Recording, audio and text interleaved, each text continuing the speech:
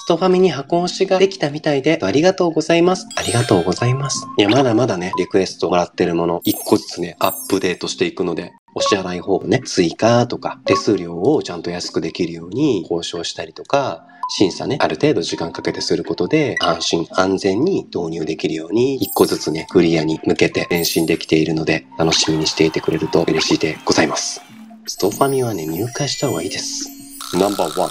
え、その書でねやってところもあるかもしれませんが、やればやるほどね、かゆいとこって届かんなーってね、やっぱあって、これまでできなかったことができるようになっていて、お楽しみにしていてくれると嬉しいでございます。